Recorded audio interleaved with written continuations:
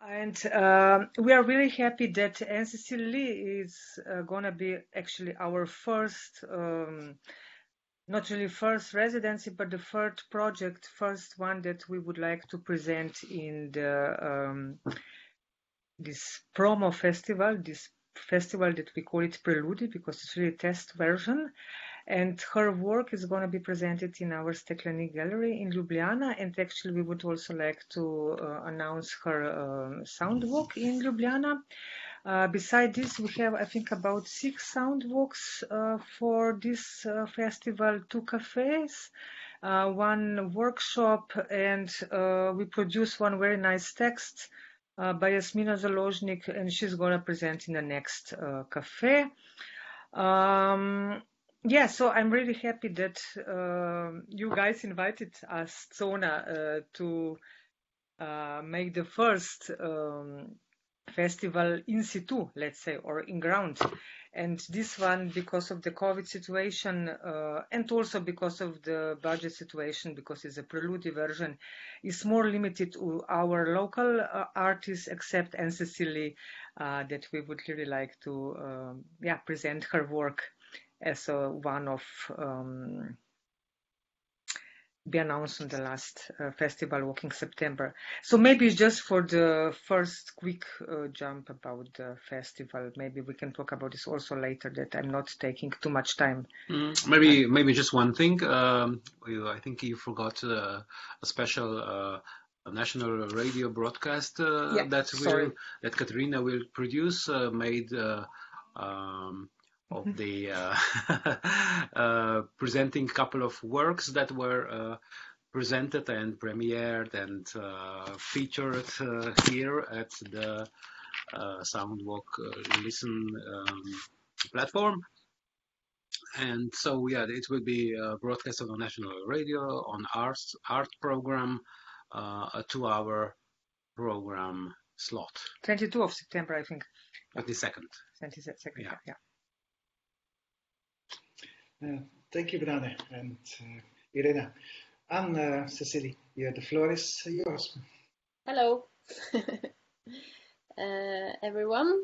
I'm uh, here, um, Andrew from Soundwalk September. Jeanette is in Shetland. Nice. It's very mixed uh, public, that's nice. Um, yeah, uh, thank you for inviting me for this talk. Um, and also Brane and Irena and Katarina from, did you say Chuna? It's not Kuna. I'm saying Kuna. And Steklenik uh, Gallery. Um, Sona. Sona. Sona. Sona. Sona. okay. Yeah. That means uh, zone in English. This is zone. Ah, okay. Okay. Learning new things in cafe talks. um, yes, so I will have a, um, eight channel uh, sound piece that will play in their multi-channel rig in Steklenik Gallery. And it will also be a sound walk um, 5th of September, 5th of October um, as part of this festival and also part of Soundwalk September extended extended September. Um, yeah. Uh, so I'm very much looking forward to that and hopefully to be in uh, Ljubljana. Fingers crossed. Um, so I will uh, do a short uh, provocation that we can hopefully discuss uh, afterwards. Um, uh, so the the title of the talk today is Sound Walking in Anthropocene, which is quite broad, um, but I will try to um, talk about some things uh, that I focus about, uh, upon in my practice, but also some uh, problematics of the the medium that I work with um, to reflect upon the Anthropocene. So uh, my starting point for my practice uh, start as a sort of reflection on how to create um, uh, in the Anthropocene, or it's proposed called the Anthropocene. Also suggested uh, names for our current geological era is the Capitalocene because it's not really anthropos, the humans who have created this, this scene, um, with uh, but more uh, invasive economic system. Also, the plantation scene is proposed and the Chthulucene. But this uh, scene that where changing air, water, dirt, and rocks, everything around us has been changed, and we humans are a part of all natural processes to such an extent that it's quite can be quite detrimental or is detrimental. So this I read as a spatial event, already a sort of scenographical work. Um, in this work, uh, we are spectators, but also some of us are protagonists, and we walk into sort of scene. Um, yes. So what I put into this scene is sort of my work, or more reflect upon it, I guess. Um, the work mostly with sound walks, and I often spend longer periods of time where I create the walks. I lived there for longer periods of time.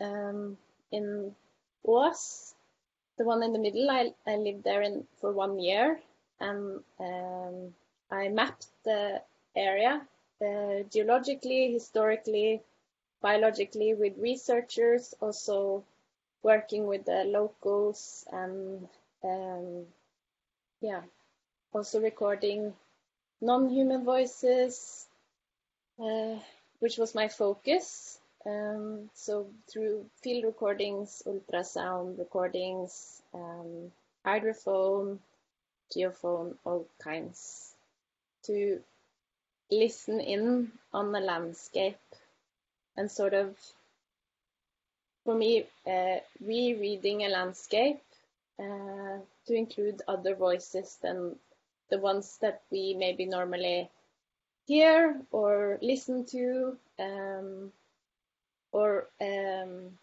perceive a place to be. So, a sort of, uh, yeah, history that is constantly being reevaluated and who's telling that history and who's telling the story.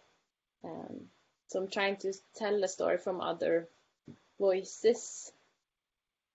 Uh, one project that I did in Prague 2019 was uh, recording uh, for three months uh, with an ornithologist. We tried to record, record all the migrating bird species in Prague, also the the local uh, birds. Uh, so I worked with the ornithologist there, um, who was very nice, taking me all around the city and with his family. Uh, yeah, and to check ornithological ornithological events that I didn't really understand anything of, but it was still very nice. Um, and this sound walk uh, was um, a five-hour uh, sound walk through a geological geolocative app, like the one that you see to the far uh, left of this image. I work with uh, two different apps mostly, Locosonic and Echoes. Uh, and Locosonic is more a touristic app, and Echoes is I guess more of a like a artist project um, or more artistic projects on it. Uh, and it uses the, the GPS on your phone and your placement to play off sounds. So if you walk in the landscape, there are specific sounds placed around there, um, and your movements trigger the sounds. Um, yeah, and I've placed the walk in a way that there's not really a specific trajectory and you can walk for as long as you please and for as long as you like. Um, so you're part of of making the uh, composition uh, the story uh, in a way. And um, uh, yeah, some walks were really long. The one in Prague was five hours, and it also um, asks you to slow down, which I think is really nice. Um, so we're all part of an entangled network of different species and entities, a delicate, intricate, vast weave, including all living and non-living things. And I think sound that is quite physical, uh, but also not physical, and is everywhere around us and goes through our bodies, through our skin, um, and we can't escape it somehow. It, we're all enmeshed in it, and it's very potent for representing this ecological uh, mesh that we are in, uh, but that we do not always see or take into account. Also, sound um, can tell, of course, different stories, as I said, but also evokes uh, inner landscapes and also is quite unbinary somehow. It's quite queer that uh, you can not really discern what it is you're always hearing. Uh, and it really plays on senses of scale and yeah. And I think Geert uh, wrote this really nice um, thing in a text I wrote by you where you wrote the poetic subversive, which I think is a nice way of thinking about it, that it is both about reading a landscape and lives and sounds as poetic, but also somehow uh, subversing those places uh, from what they are the, usually told and sort of soft uh, soft radicalism in a way. Or yeah. Or not so soft. Um, and gps and internet are also all encompassing phenomena a completely integrated part of our ecology so in this uh, works i also reflect upon um, that uh, humans are a part of ecology as well. It's not only the stories of non-humans, of course, uh, that's a big focus for me, but also that humans are very much a part of ecology and it's not necessarily so pretty, uh, but we are a part of it. So some of the things that you can hear, this is like quite a big um, links, but it's everything from bat sounds and sounds of trees drinking um, to avalanches, but also reflections around quantum entanglement. For instance, there is theories that birds can see quantum entanglement, um, and also that they, for instance, in in Prague, reading about birds, they have syntax and grammar. If you talk about dolphins and whales, they have more complex languages than us. Um, and also how mycelium looks exactly like internet uh, or neural threads and things like this. Meshes that are similar and connects everything from the microscopic to the macroscopic. Um, yeah, so whose stories are being heard? That goes both for non-humans and also for humans. So in Lend Me Your Ear, I was working with people living at Tøyen, uh, and they were themselves recording the place from um, the sounds of the place that they're from, and choosing sounds and sights. So it's more about uh, the people who are intimately familiar with the place uh, that records and not me that comes in as a sort of uh, sporadic person, but more people who are uh, enmeshed in a place. yeah, so walking, um, I think, is a way of slowing down and can also be seen as a radical act.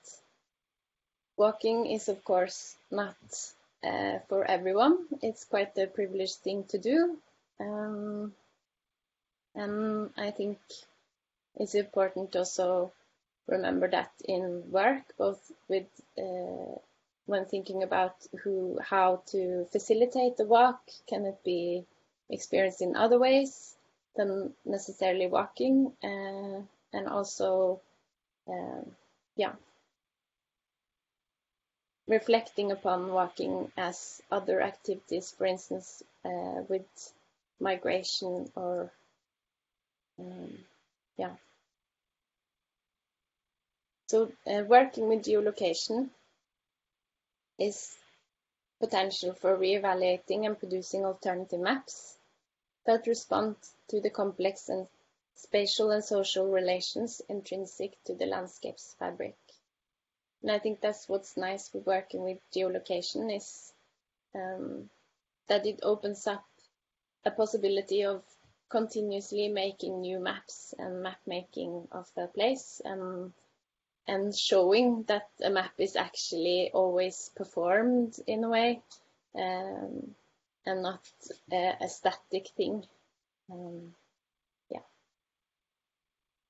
Just showing a, a, work here quickly that I really like, which is Afterlife.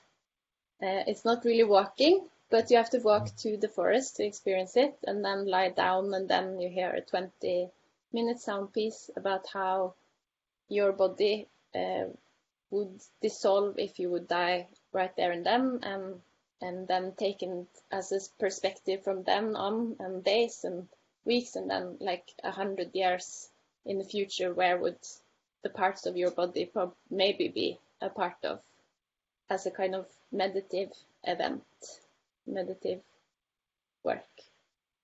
Yeah that i think is really nice. So a problematic that i want to discuss with you. We're working with this sort of uh, environmental and uh, I guess political and social uh, aware works through geolocation and GPS and smartphones. I'm still wor working with materials and software that is quite unenvironmentally friendly and also like Google and has uh, is intrinsic with lots of uh, uh, regimes that are not democratic. there's a lot of hidden strata of the things that make up the smartphones, but also where they uh, are wasted. Norway is the biggest producer of e-waste per capita in the world, and it's often sent to places also that are already environmentally pressured and also politically and socially uh, often and already kind of unjust. Um, so thinking about this as point of the perspectives that I'm trying to to talk about, then it's important to take into account the media that I'm I'm working with and what that actually implies because it's not although sound is very immaterial and a smartphone can seem quite also uh, immaterial in a way, or the internet. It has very uh, physical, yeah, it is physical. So uh, some of the things that uh, I think is important to think about. I don't think we should like stop using internet altogether, of course. I don't think that's the answer here, but definitely a political and social pressure for legal frameworks um, uh, on service providers and hardware producers, um, creation and hacking of tech. That's long history of that that uh, Geert and Andrew know much more about than me. Um, and using other kinds of ways to uh, locate using phone's camera, for instance, not using GPS or Google, and using fixable products. And then you can also sound walk without locative media. and using real-time walking and listening practices and maybe not walking even but maybe it's other ways of experiencing a sound walk or a sound roll or sound um, bus um, and then also the perspective of the non-human spending time with the other uh, is more about being in the other other's wet live-in as Jana Holmstedt uh, describes it. Than necessarily discerning information uh, from non-human stories is not like yeah. Spending time with non-humans is more about uh, understanding that we don't really understand each other in a way um, and we are all part of ecology but we try to make our place in it caring and the least amount of harmful I don't know if this uh, was very long. Maybe it was. And this is the work in Steklenik. And it's a eight channel sound comp composition and that reflects the one uh, proximity between bodies through water. And uh, yeah, that will be opened on the 18th of September and it's a sound walk the 5th of October. And it's based upon a sound walk uh, that was shown in Oslo in June that was uh, following the city's underground sewer systems and contaminated ground and uh, among other things also is recordings from the sewer, underground sewer system in, in Oslo. Thank you, Anne, for uh, taking us on this the drift through your work, which um, beautifully brings together um, uh, the questions of our time and, and, starts from questions in the sense of, uh, um, like you said, in, an, in, a very soft radicalism. Um, it's um, to, uh, to think about what where we are and where we go to uh, by um, not taking for granted. Uh, um, before I go on, maybe somebody wants to throw in a question, a feedback, a comment, um, please feel free to do so. Uh, and maybe I have a short question. My question is how you choose the locations for the sound walk. Is this uh, totally interconnected with the work you would like to uh, discover with the sound, or it's I don't know uh, how. I mean, how come that you go to some particular uh, location with the new sound work or yeah. work?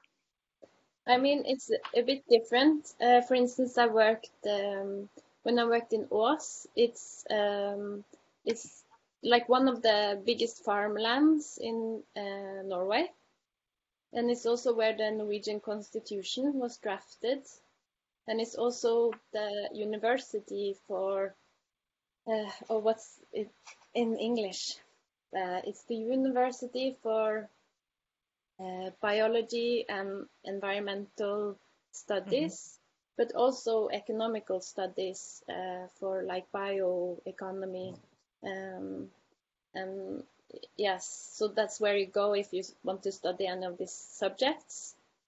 Uh, the campus park where I made the walk uh, is this um, protected park. It's one of the very few protected parks in Norway, actually, and it's made from um, uh, from like a, a classical um, these like sight lines uh, and huge grass fields, uh, and it has this like very it has this like one point perspective uh, it's built from this one point perspective from the romantics where you could like paint the landscape uh, from uh, one single point um, and they have to if one tree falls down they have to grow the exact same same tree so it's very strictly run uh,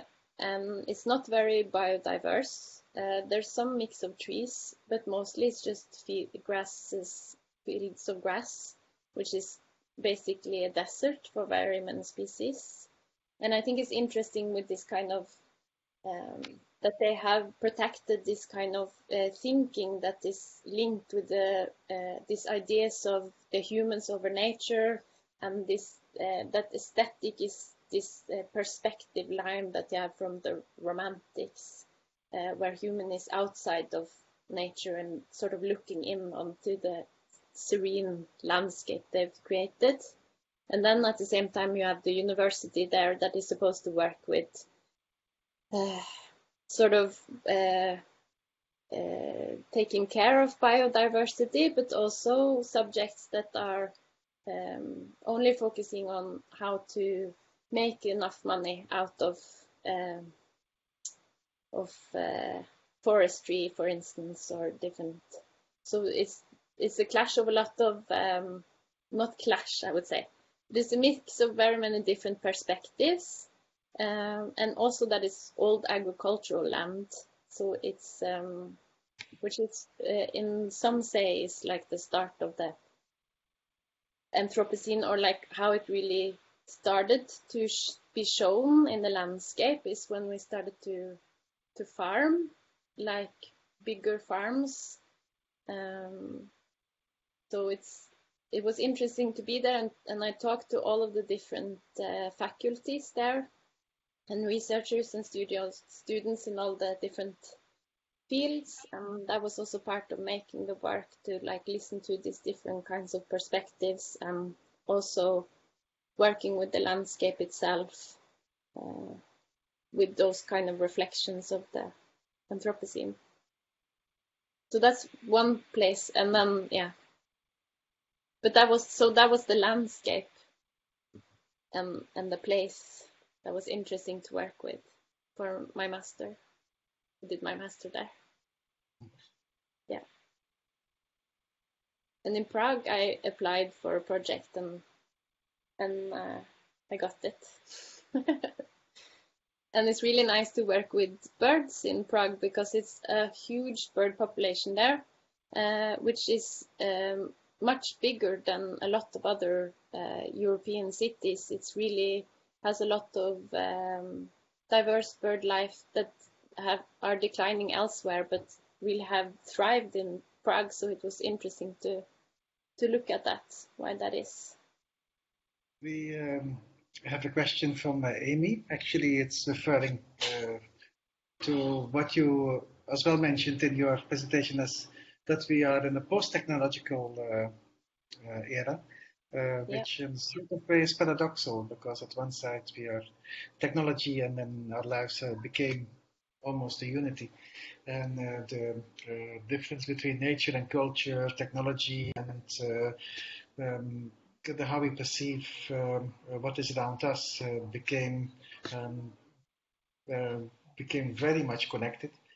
Uh, at the other side, of course, as you mentioned as well, uh, what Amy asks, uh, um, are you aware of the resources um, to help calculate the carbon environmental cost of these kinds of work um, that are made with, of course, with technology, um, and at the same time make people more aware and want to stimulate them to um, to transform um, or to the, the world and the world in crisis we are in that is actually caused by the, the same technology. And, um, so the question was, are you aware of resources to help calculate the carbon environmental costs of these kinds of work? Yeah, I mean, you can definitely calculate what it would cost. Now, what it was cost in terms of energy, uh, there are uh, websites to do that and, and calculators to try at least to figure it out. And parts of the sound walks that I do um, reflects around also this issue of uh, using this technology and at the same time what it actually means to use this technology. So it is reflecting upon it as as you are using it. Um, and I think it's important also to do that and, I, and to uh, stimulate people to critically reflect upon what it means uh, yeah, to be in an app or on the internet and, and that it is very highly physical. And then, of course, all the works are relating to ecology and disappearing species or um, yeah or also con uh, conversation uh, conservational efforts uh, or different kinds of reflections around how um, uh, I mean also just stories of non-humans I think is important to to to just have some sense of closeness to things. That um, if you feel like you're uh, closer to the place you live in maybe you would want to closer to a tree the ash tree outside your house then you are more willing to protect it. It's not necessarily that i i don't really make um, I, I won't say that i am very um, i don't demand in my works of people to to do anything specifically it's more like i give the information and then I let people sort of use that information as they want somehow. Um, I mean, some of it is quite dark, and but there's also lots of uplifting things, and I think that's important too. Um, yeah, did that answer? I don't know. Amy, does that satisfy you? Yes, it seems to. Yeah. Uh, and um, another element in your work, um, what uh, st struck me was as well that you talk about walking as a sort of soft radicalism, as a way of um, um, not seeing walking as a, as a romantic form of being the, the, the, human being that is separated from nature, enjoying nature, looking for, to it from outside, but being really immersed in nature, part of it. I, I remember somebody talking about walking as becoming plants, becoming plants in the sense of um, the plants of the feet as becoming really nature. So you are you are the nature by walking it. Uh, you are not um, separated from it. And uh, by definition, by doing this, you are not consuming. You are not um, taking distance. Uh, you are uh, um, completely one with what is around you, which is uh, by the just the act of doing nothing, um, a subversive act. Uh, uh, in our times where uh, nothing is for free and nothing is without a purpose. Um, so um, the, the, it's, it's one of these, these beautiful paradoxes in your work as well, uh, using geolocation or, or, technology to extend your senses, uh, which you mentioned uh, various times. So I see in, in your work um, the use of, of, of, the smartphone not as a technology, but as an, as an extension of your body um, which is in a certain way, of course, also paradoxal. Um, Can I comment on, on it a little bit? Yeah. Just because you said this with taking up space and so on, I think it's important also to, like, uh, it's interesting about like uh, taking space in general with your body. Like we could, you can see in, um, for instance, uh, uh protests in the street or um, I mean, any kind of act like you see Extinction Rebellion is doing now, just sitting somewhere inconveniently, they are just taking up space in being there, is also can be quite radical in that sense that your body is just somewhere where it's not necessarily supposed to be. Um, yeah. But also that uh, extensions of your body, I mean, has always existed since we've made tools. It's just a more uh, yeah, complicated tool in a way uh, than a than a hammer or what it is uh, a wheel but it's uh, yeah. But it's definitely a part of us like uh, it's not really yeah. Separated. We are cyborgs. No um, the uh, what it is interesting me in, in, your work as well that you talk about Anthropocene, and um, uh, more and more people tend to start talking about the Pyrocene, uh, not anymore about the Anthropocene. Uh, in, the, in, relation to the many fires, the pyro, pyro the the Greek. Ah, yes, okay. yeah, yeah, because um, uh, we are living in a time where the climate change is so fundamentally um, uh, having an impact on um, um the, on the planet that it is literally burning. Um, our house is burning not only in the symbolical sense, but as well um, in the in the physical sense.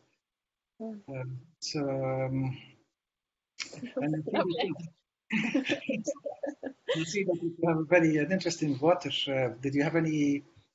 Did you already, did you have any interest in the fire as a as a topic as well? Uh, Um, I mean, I've uh, had fire as a sound element, so uh, usually the uh, it it um, depends on the sound walk, but usually it would be uh, also sounds going back.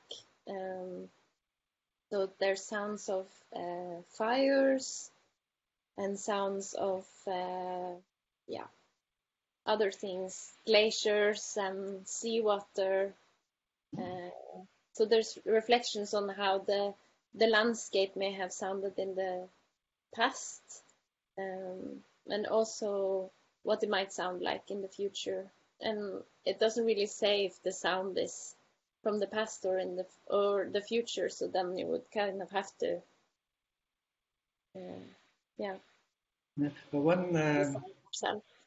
Yes, one thing. Uh, last week I was in Greece. As you know, there were very, um, very severe uh, wildfires in Greece, um, and one of the effects of these wildfires was that the insects that um, were um, um, escaping from the fires, they all went to places, uh, safe places.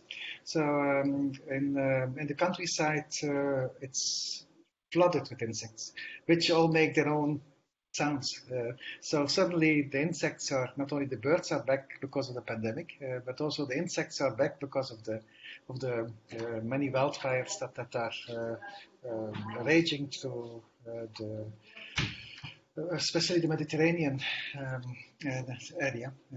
So we are living in a completely changed soundscape. The soundscape of the Anthropocene, if you take into account the pandemic and the wildfires, is one where um, nature is coming back. Mm. Mm. Yeah, definitely like in in waters as well in the sea that has been uh, much less noisy underwater. Mhm. Um, yeah, everywhere really. Um, but that's uh, yeah, it's really interesting when uh, talking about underwater as well because it has such an impact on fish. But now during the pandemic, then it has been very quiet and a lot of uh, a lot of fish have returned to sea. Not crazy amounts, but at least there has been like some resurgence. Hmm. We just need to be a bit quieter. Mhm. Not necessarily pandemic, but Um, yeah, maybe uh, about your work for Steklenik when we were uh, talking about uh, where you get this some of the sounds. You mentioned some really interesting collaborations. I don't know if, if you talked about them in detail in the presentation because my signal was uh, not the best. But yeah, if you can share maybe some some of that uh, with us, I think would be interesting.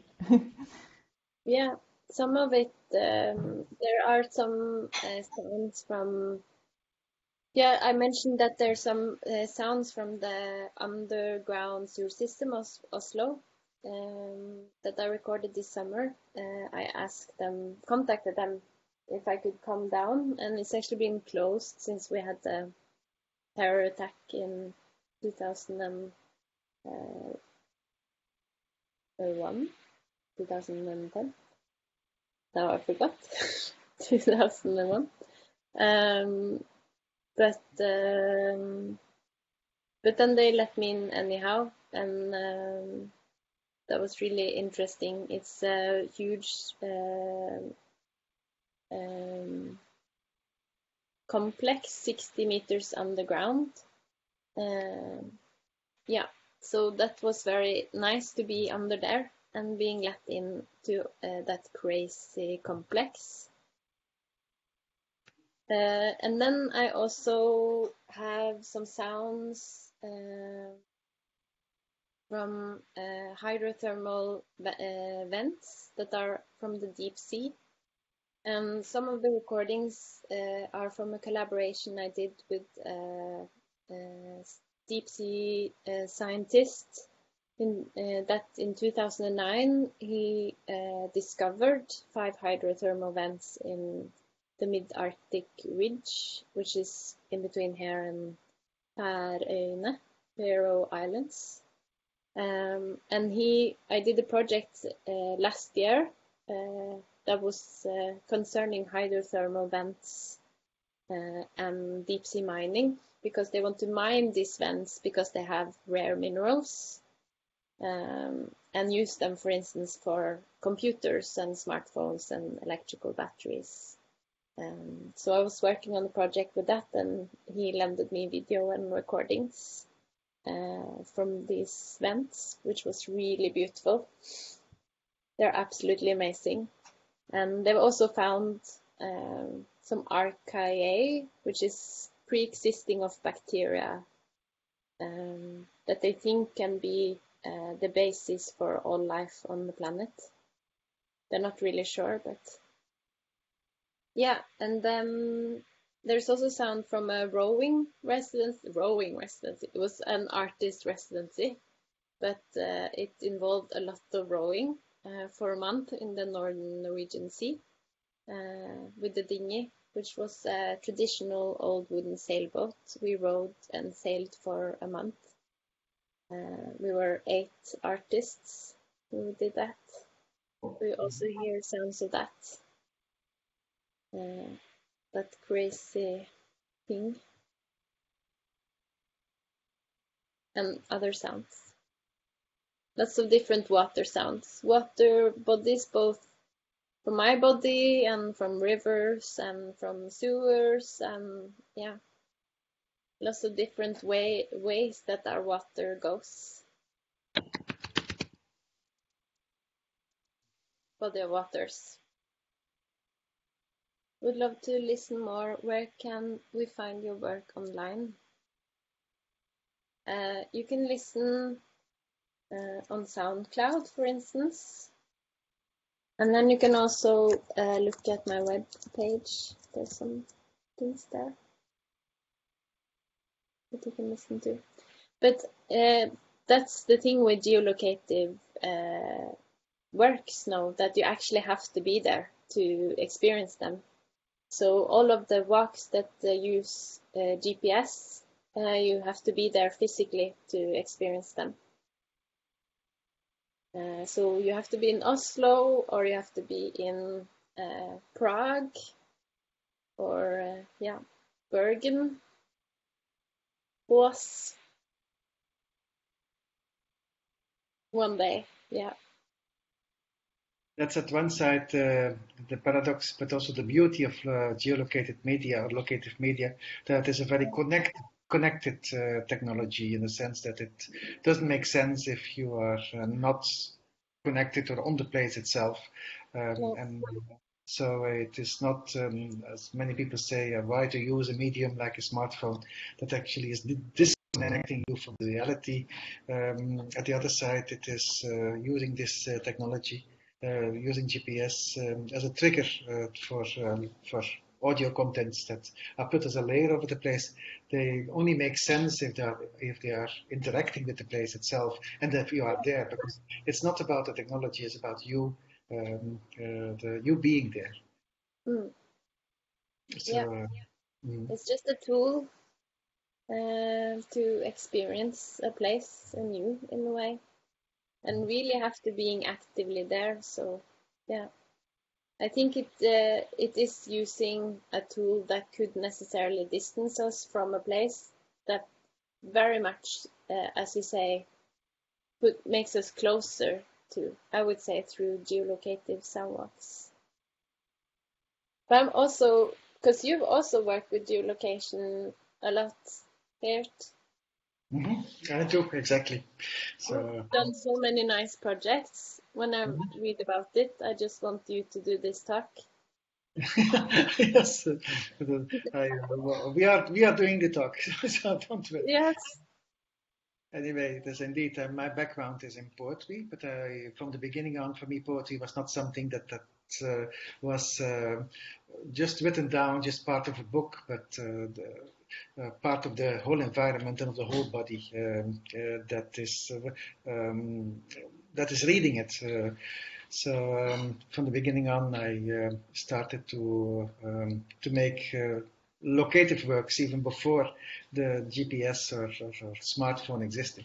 And then I became part of an, uh, um, a collective um, which was called uh, NoTours, actually, and, and Escoitar, uh, which uh, was a group of people from very different directions, but all with the same interest in um, um, in a very human approach uh, to uh, to sound and to nature.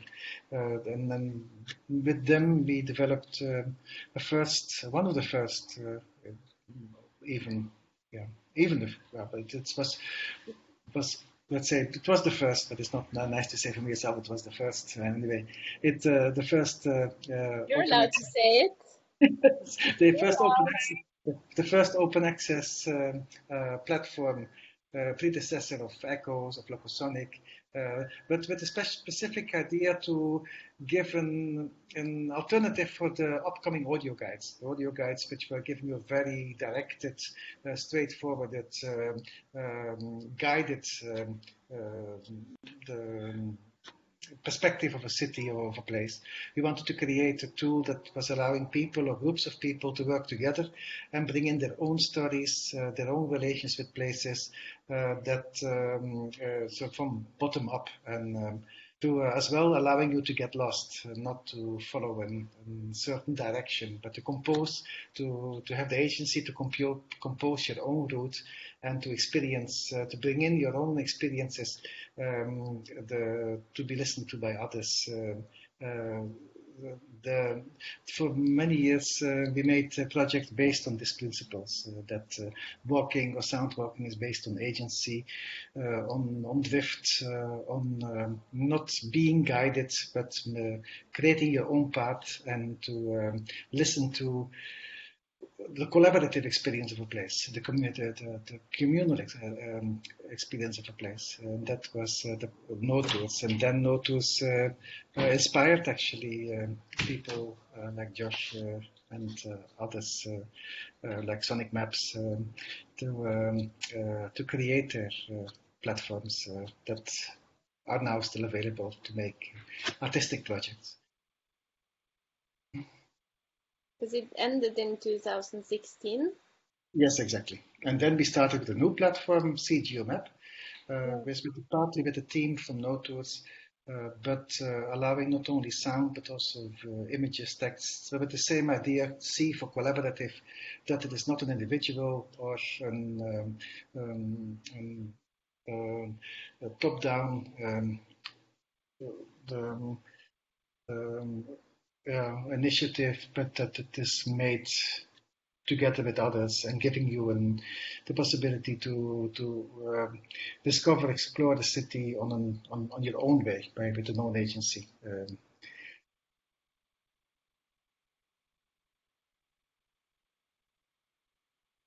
do you uh, do you use the, also Google Maps and these things, or uh, how do you uh, build them? Uh, specifically, we don't use Google, Google Maps, but OpenStreetMaps uh, out Open of the yeah, okay. out of the out of this concern for the uh, the big company. Um, yeah. monopoly on uh, the, on mapping and technology.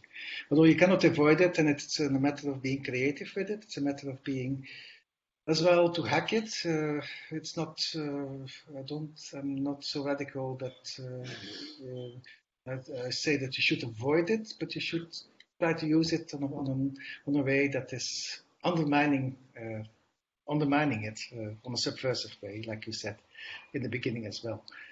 Um, it's uh, not by avoiding, but by trying to use it on an um, on a different and alternative way. So just like the audio audio guide actually inspired us to make something completely subversive uh, for the audio guide itself, which was called NoTours.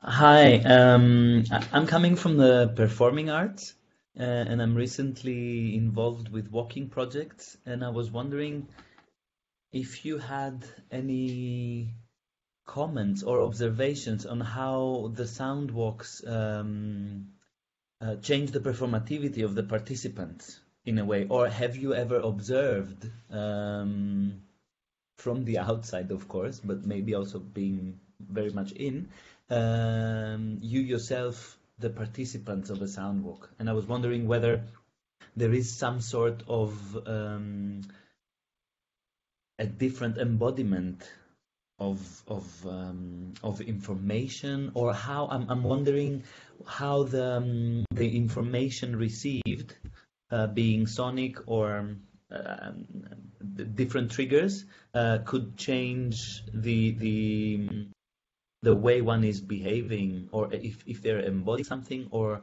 what kind of performativity in a in a public space or in nature in the forest um, might be and also because it's also one of my um, uh, questions. One is how to to embody landscape. It's a, a, big question, but then also how to materialize an experience, as in something that is not tangible. How does it materialize? And I was wondering if there's something or some insight to that from um, your experiences. Yeah, thank you for this really nice question and reflection. Mm, I mean, I think it's difficult to say how people uh, experience it because it's so individual. It's not, there's no choreographed uh, path, so you don't have to walk a specific route. But I definitely see people, uh, oh, it's very mixed actually. Uh, people walk very differently. Some are have very like are very focused and have uh, sort of going like they're go running to work, and some people are like really lying down and just letting sounds sort of um, come and want to spend more time in one place and just reflect upon that spot that they're sitting. Um, while some uh, and it really depends on the kind of audiences as well. I there's some uh, like I would say from the art audience that want more just just a, a sound work, and then uh, other audiences who want as much reflections around the place and historically, and uh, yeah, have storytelling really to kind of immerse themselves into the place that they're at, that they need more um, meat on the bone in a way. Mm-hmm. Um, but um, but I, I definitely see that there's something happening in the sound walks, uh, especially the ones that are longer, that people actually, well, you have some people who fall off very quickly. and then some that use a lot of time uh, to listen and and spend. Uh, I I think they say that uh, an audience looks at the painting in the museum ar around ten seconds, or is it less? Two seconds. Uh, but I definitely see people spending half an hour, an hour, maybe even two hours with the work and coming back to seeing the work um, and also the sounds that I place are not necessarily in like a logical route that you would follow in the landscape. So there's also like behind the trash cans and uh, into where the fence you have to go behind the, into the fence or places that you wouldn't necessarily walk. Mm. And I think that's nice that people uh, kind of feel entitled to to to go a bit of of piste. Um, and it's I, I don't know i think it's so interesting like i really want to film people that walk it what kind of movements do they do i do experience that they slow down um, mm. but yes um, is i don't have any like physical sort of information, as you say, to, to what actually happens. Um, besides what people have, have told me. Um, hmm and how they, yeah, just looking at them. Mm. And, um, yeah, Go on. no, yeah, Go ahead. I know. I also have some things like in some walks that I I have put in in action. So this like eat from this plant, uh, or here you can lie down, uh, here you can sit Mm. down, and then you can do these kind of actions. Um, and then some are more open, just that you can do whatever you want. Mhm. I think it's so interesting that with sound, uh, the prominent sense, which is vision usually, just shifts into something else, into hearing, and then this becomes the um, the eyes, uh, in a way. Now, uh, many people say that uh, actually sound walks um, are um, because they only make sense because they are connected with your with the complete environment uh, you are in. Uh, that they are not limited to sound, but actually are audiovisual audiovisual works or uh, audiovisual walks uh, because uh, they are like the uh, the um, um, the the sound score of a film. Uh, they uh, on, on themselves, the sound doesn't doesn't make sense. It, it is it is it's the unity of the sound with the environment, where you become more aware of. You become more aware of the environment through the sound walk itself. Uh, the, which you can say as well with locative media. They, uh, eventually, they are not about uh, the, the locative contents, but about the interaction they have with the place and actually the unity they create with the place itself. Um, now, um, uh, the um, that's the particular particularity of sound walking, except of if you look to the, the uh, acoustic ecology, the, the, the, silent walks, the, the listening walks uh, that try really to focus on the uh, on the sounds itself. But even then, you don't succeed to isolate yourself from where you are. Uh, you are always uh, uh, part of a complete world, and then of all the senses are playing a role in, in, the experience. I don't know if you feel like that as well, Anne. Yeah, I definitely think I get a heightened sense of a, of the place that I'm at, uh, and I also like to uh, be in it and take off my headphones. So it's like also a mix of being like in that space and and returning back to different uh, times frames in a way of that same place and how the sounds uh, makes the place completely different. Uh, and of course, it also evokes inner landscapes and inner images as well. Um, and yeah, it is also so physical. I mean, the sound in itself combined with the place and, and being at a certain point. Uh, yes, a lot of layers. It's both visual and and sonic, but also not only the sound walk and the place itself, but everything that it evokes. Mm. Yeah, but I really like that you can play with the scales. I think is something I think is interesting with the sounds that you can go from a kind of uh, setting that you are quite used to to changing the feeling of scales of your body uh, in relation to the place that you're at. Um, depending on on which sounds you're playing and also, yeah, what you're talking about. If you're being in a microscopic or microscopic perspective, you can suddenly be very tiny in the place that you're at. But that's interesting with these choreographies. Like it's it's I really like this um, uh, afterlife work where you're lying down. So bodily gestures. Like I had this one piece in in the dissolutions in the sound walk where I uh, ask audience to swallow. Uh, so it's just this like small thing, but it's swallow and then imagine like where the water goes, and then it goes like through the body, but then also through the toilet and then in through this sewer system. And then at the end we are we have this like boat trip through uh, the part of Oslo where um, underneath Oslo to kind of both like imagining the imagining where the where your swell uh, spit would go. And then you're kind of uh, paddling in it afterwards in a way it's kind of nice yeah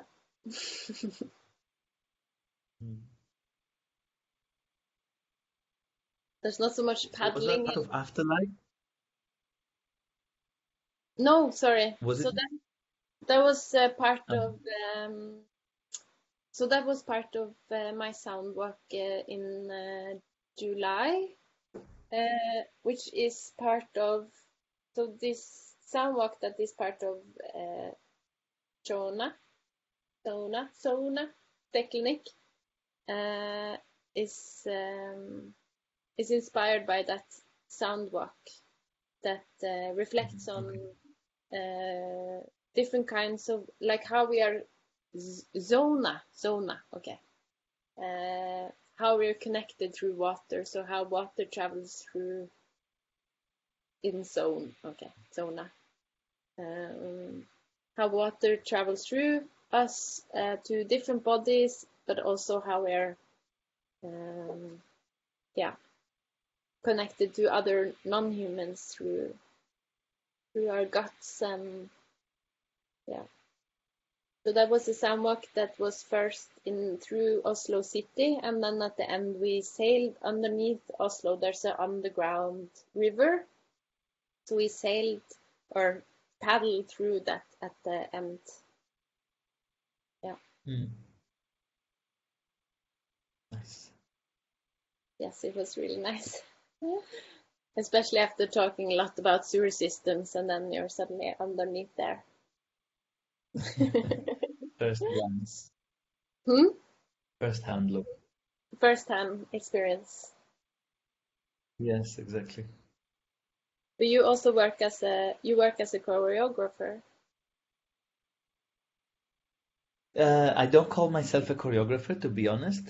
I find it like a heavy word for me to use. Dance maker is something I could uh, work with better, I think, uh, because I'm I'm not interested in movement in itself. But then, yeah, finding common grounds or situations, movement, movement or moving situations where people can can meet or where I can meet with my um, artistic um, collaborators. But recently I have been working on walking projects, and it's, I mean, it's something that kind of um, consumed me gradually or grabbed me gradually. I was lured into. Um, Lured into. Lured into. I think that's the perfect word for it because it, it's a gradual pull towards walking projects that is happening. And because it's very much in the beginning, um, I still maintain this kind of um, curiosity and excitement, I, I think. And because also I don't have the weight of um, this is my discipline, this is my medium, so it's it becomes like too heavy still.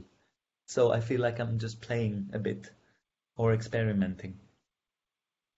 But I will be doing um, a long durational walk in um, in Denmark in Aarhus on the Yeah. 20th of September, Twentieth. and it's part of uh, Walking Landscapes project. Yeah. Mm. Walking landscapes. Yes, it's run by um, Metropolis Copenhagen. Yeah. Mm. And basically, they've asked artists of different disciplines to do 12-hour walks. Twelve Um, hours. Wow. 12-hour walks. That is the um, that is the frame, let's say the format. And each um, every hour on the dot, um, the artist is required to live stream some sort of um, uh, input. of what he's busy with or what he's doing or how he had um, uh, curated this 12 hour walk. So people from home or from elsewhere could follow uh, what they're doing or the whole trajectory, the 12 hour trajectory through those um, 13 videos you are required to do and live stream, um, which are so short, like one minute to five minute videos, uh, documenting what you are what you're doing, basically. But are you walking these 12 hours or is it many people walking parts or? It, it depends. Uh, I think people have chosen to meet other artists or other people along their way uh, during the 12 hour duration. Um, I have chosen to walk alone, but share my location. So at any given moment, I might be surprised by somebody joining or visiting. I don't know, uh, which I like kind of in, in terms of um, expectation uh, not to know that this is a meeting and you, they have to be. But should they want to, they are, they can and they have the means to do it. And my proposal was to because I'm visiting Aarhus um, back and forth for for work with a dance company over there. Um, I proposed to walk the distance between Aarhus uh, airport and the city center on foot and the, the, main idea is that the stranger or the foreigner or the outcomer is approaching the city um, on foot, uh, on a slow pace, not uh, fast tracking through bus or through uh, other means of transportation, but walking the. Um, uh, it's basically eight hours of walk uh, if you walked it, you know, straight. Um, but I will be doing stops also to to organize the material that I'm accumulating on each hour, and then to transmit. So I'll be walking 40 minutes and stopping for 20. That's my calculation, and I hope it. I hope it works. That sounds mm. so nice. Oh, on 20th of this September. I'm gonna write this down now. I want to see this. So I can log on and see you walking. Um, you'll be seeing the videos that I will be uploading. I won't yeah. be, um, you know, uh, documented for the 12 hours no. unfortunately. But maybe fortunately, because I don't think. I mean, I also find it very, you know, this uh, that I have to carry a camera that has a 4G uh, machine that will transmit something. I'm afraid that it will bring me in and out of any kind of uh, situation or um, world that I will be building but let's see. It's a, it's um it's a try. I wish I was uh, could come and and walk part. That would be nice. Oh, that would be amazing. Yeah. and hopefully you could bring some sound. yeah. I will just uh, walk and tell you about the gut.